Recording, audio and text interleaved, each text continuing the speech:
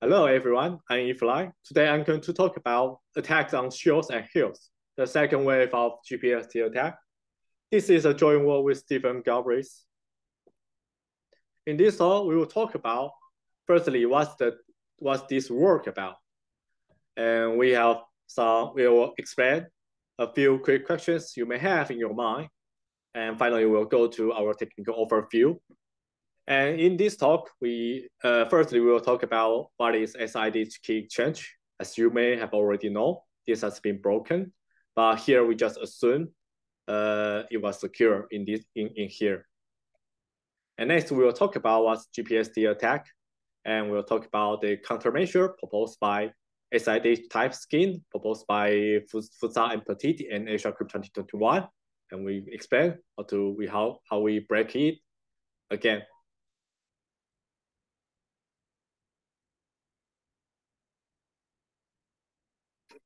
So firstly, we give a very brief intro for SIDH. And um, in SIDH, we have a prime as the following form, an elliptic curve, and it will form a group structure. And isogeny is um, a morphism between elliptic curves, and you can think of it as a fractional polynomial, and it is also a group homomorphism. And this can be uniquely determined by the kernel and the image curve and up to isomorphism. And for a natural number n that is not divisible by p, and we have a following proposition that is the n torsion subgroup, which collects uh, the elliptic points uh, n times equal to the point at infinity. And this torsion subgroup will isomorphic to Zn cross Zn which is a two-dimensional ring structure. And as I, in SID education, as we mentioned before, we have a two-dimensional ring. So we say P and Q is the basis for the EA, E2A torsion subgroup. And Alice secret key is an integer in 2A, in length A. And her secret key is uh, also a kernel uh, the generate by P2 plus SKQ2, uh, the kernel gener generate by this point. And Alice will use this point to generate her own isogeny and compute EA and evaluation on P3 and Q3. And this will be her public key. And Bob here does the same. He will obtain a, a curve and two points here. And in and they exchange the public key here. Alice will compute uh, based on the public key uh, provided by Bob.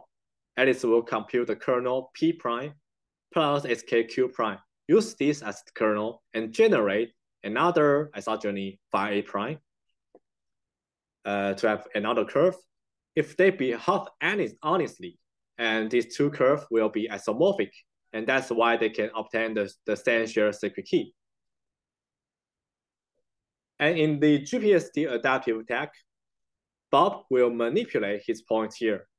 And, and then Alice will uh, compute the public key, the shared key, by based on the public key provided by Bob. And in all, in the modeling of the GPST attack, Alice will tell Bob whether these two curves are isomorphic or not.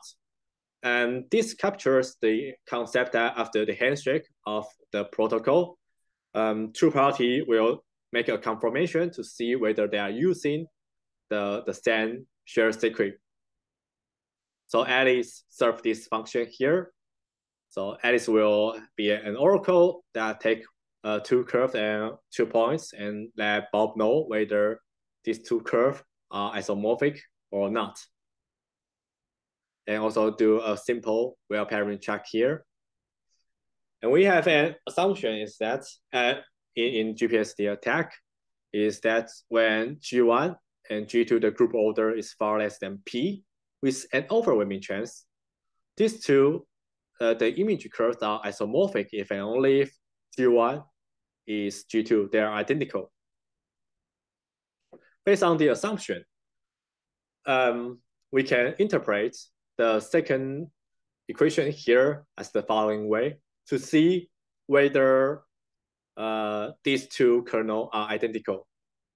Uh, the kernel on the left-hand side is the correct kernel computed by uh, by Alice if the public key is honestly generated.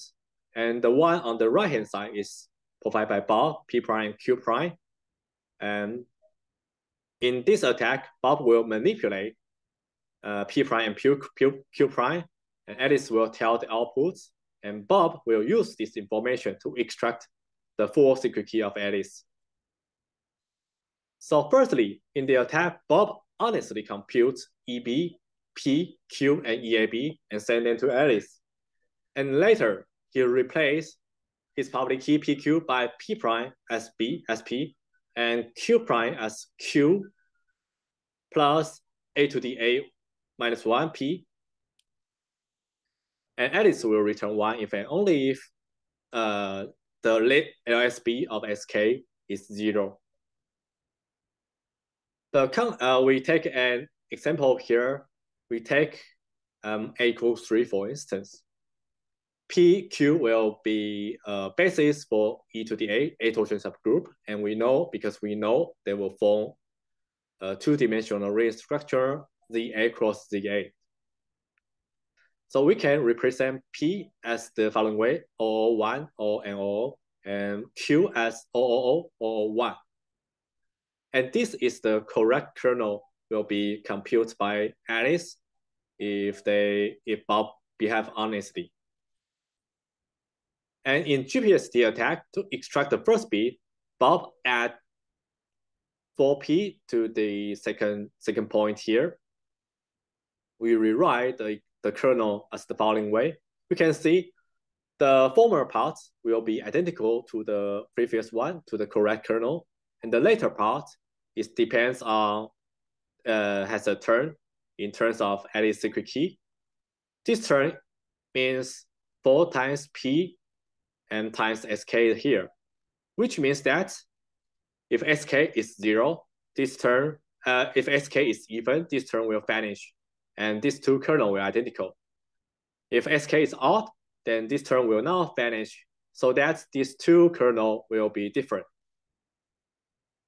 So which means that if L is written one, which means these two kernel are identical, which means that sk is even. If Alice returns zero, which means that these two kernels are different, which means that um, SK is odd. So in this way, we can get the LSB of the secret key. And the next step is to extract the next bit. Bob, manip uh, Bob replaces the P by P prime and Q prime. Uh, he add he add negative SK0 P uh, to P to the second uh, to the to the P, and add two P to the Q. We rewrite the form and rewrite again, and these two terms sk0 and negative sk0 they will cancel out. So we obtain the similar form here.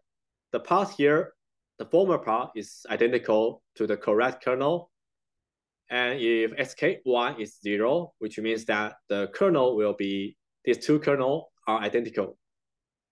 If sk, if the next bit is one, then these two kernels are different. So in this way, we can get the second LSB of sk1 here. And remark that one has to scale the coefficient in front of this point here to pass to pass the Weil pairing check because the Weil pairing of this public key is not the correct one. So they have to multiply by some coefficient in front of the point here. And because they multiply by the same, by the same coefficient ahead, and so the kernel gener generate by these two points are the same. So is this bad? Uh, this is uh, not good because uh, but this can easily be prevented by using FO transform type method, which means that Bob always use an ephemeral secret key and reveal it to Alice. So in this way, But if Bob reveal the secret key to Alice, and then Alice can notice that uh, whether Bob play any trick be behind his public key. So in this way, this can be this can prevent this adaptive attack, but result in having a static to ephemeral only crypto system. An alternative method is to use either ZK proof systems or multiple, uh, multiple public key techniques called KSIDH method. But this result in the number of isogeny computation is non-constant in lambda. It could be linear, it could be quadratic. And in Asiacrypt 2021, uh, and Petit, they give an interesting and interactive proof system for the correctness of the public key. The high-level idea of the, the mechanic of their work is very simple. They use the commutativity of isogeny.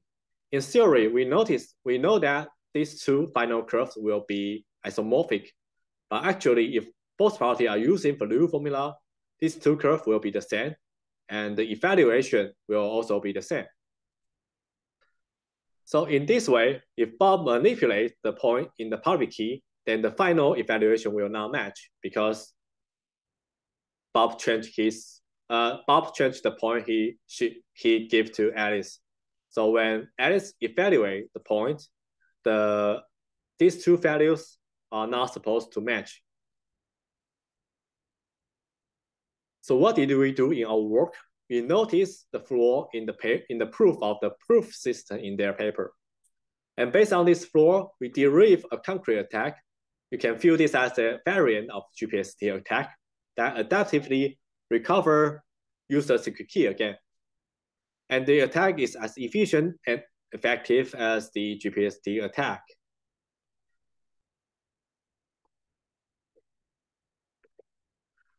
So here are some a few quick questions you may have in your mind. The first one is, can Castryck-Decru attack apply to this skin? The answer is yes, but not in polynomial time theoretically by the current version of their, their attack. Because in this paper, they use, in that paper, they use unknown endomorphism ring in their construction. And how about the Robert passive attack? The answer is yes, and in polynomial time theoretically. So what's the savage value of this attack uh, after these two attacks present? Um, the, my answer is no practical value, only theoretical value. We give a new attack in a weaker security model and break the crypto system adaptively.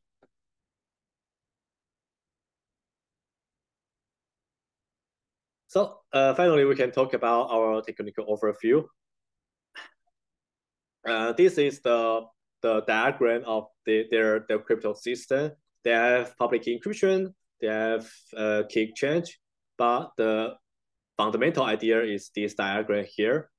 The left hand side here is just as the same, uh, quite similar to um to the uh, SIDH key exchange.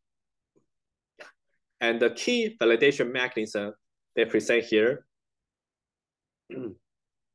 is the they use the idea of the commutativity of the of isogeny.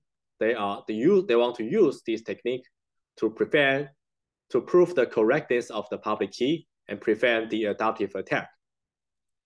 In our work, we will use this mechanism to recover Alice's secret key.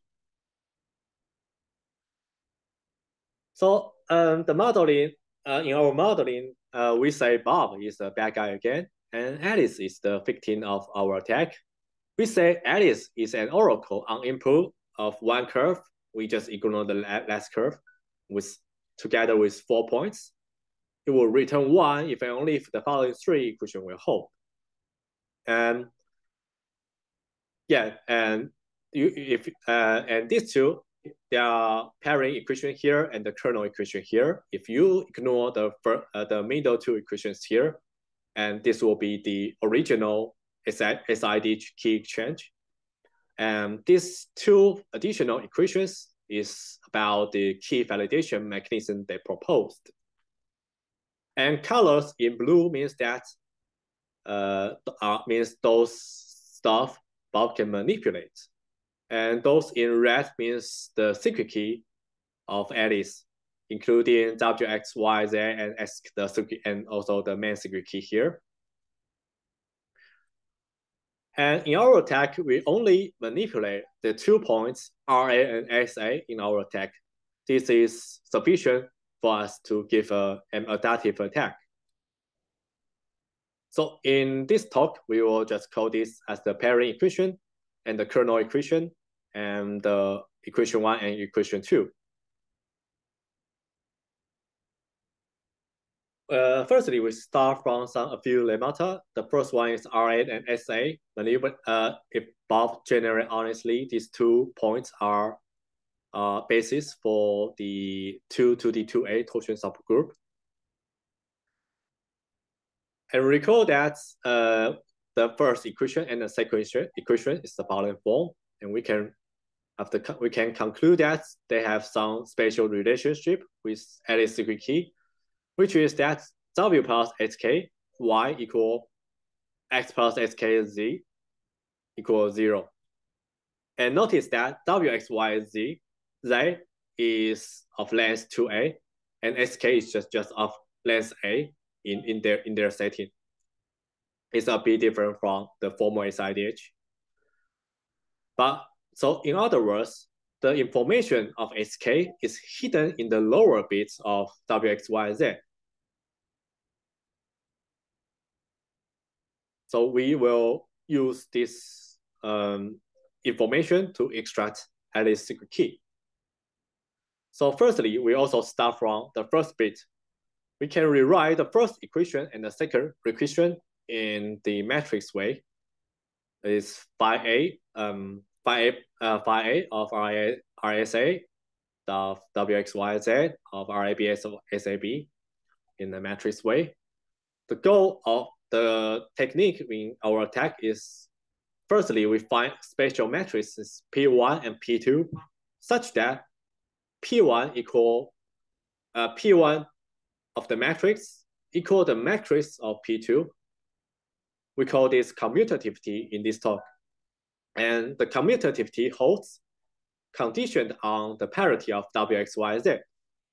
We also require the determinant of P1 equal to 1. Uh, this is for the pairing equation. If we find such a pair, we invoke oracle by using following uh, by using the, this forge RA prime, SA prime, RB prime, SAB prime as following way. It return one, Alice will return one if and only if the commutativity conditions hold. This is because you can just imagine if you apply P1 on the left-hand side here, and then you will have also have P1 here. And if commutativity hold, you will have this matrix of P2 of this factor here. So that's why if commutativity holds, Alice will return one. If only if Alice returns one. The matrix we take is fairly simple. It is uh, P2 is just the identity matrix, and P1 is identity matrix. Add in 2 to the 2a minus 1. The commutativity holds if and only if Wx equal to 0 modulo 2.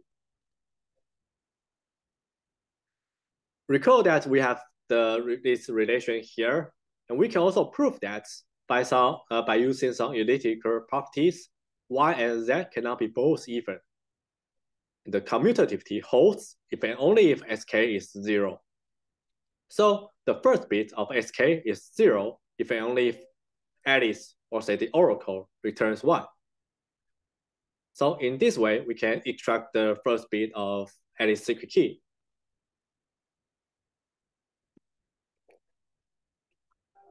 So next, how to recover the next bit. Based on the relation we have we can rewrite W as the negative AY, uh, but notice that there's, this is modulo 2A, so we need to add some higher terms here. We represent, uh, represent the equation as the following way. And we assign RA prime as the following form to Alice. And the first equation will be satisfied if and only if the next bit is zero. And because we didn't we, we didn't change SA, so the second equation will always hold. And the kernel equation will always will also hold. But unfortunately, the pairing equation will not hold here. And in GPST attack, we mentioned that they use some uh, scaling method uh, to apply a coefficient uh, before before the pair uh, the points here. But unfortunately, if we do that here, uh, the second equation will not hold because you you have some coefficient in front of them. And if you have some coefficient in front of RA prime here, the first equation will also not hold. And this captures the, the high level idea how this how the normal GPST attack will not apply to the crypto system. Yeah. So the oracle taking this input will always re return zero and we obtain no information of Alice secret key. So how to solve this problem? In the previous page, we represent the first row in terms of the second row. So conversely, we can represent the second row in terms of the first row. And in this case, we just, we firstly assume SK is invertible. So we can write, we can write Y as S uh, negative SK inverse, W plus some higher terms here. And so it's, so we did the same for Z, Z. And we, re, we use, use the same idea in as the first, as the previous page. And we write, uh, we replace SA as this way. And the second, at the first equation will hold if and only if next bit is zero. And the second equation hold condition on the inverse, the the next bit of the inverse of the Alice secret key. And the pairing equation will, will also hold, and the kernel equation will also hold. So in this case, we can, if, so if SK is even, uh, SK is odd, also it is invertible. We can use this te technique to fully recover Alice secret key. So we just need to consider what if SK is even, the case SK is even and it is not invertible. The idea here is quite, sim uh, quite similar before. We reuse the P1, P2 commutativity method, and we keep extracting the next bit until one appear. So we assign um, RA prime SA prime as the following way. And the second, the first equation will always hold. And the second equation holds condition on the next bit.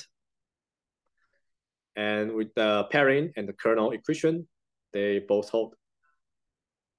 So one can recursively use this approach to extract the maximal power of two in Alice secret key. So once uh, one appear, we cannot extract the next bit. Well, we, we cannot extract the next bit by using this method. So to extract the next bit when SK is even, say we use the previous technique, we extract the maximal power of two, dividing SK, and we already extract ILSB of SK. We denote it by SKL.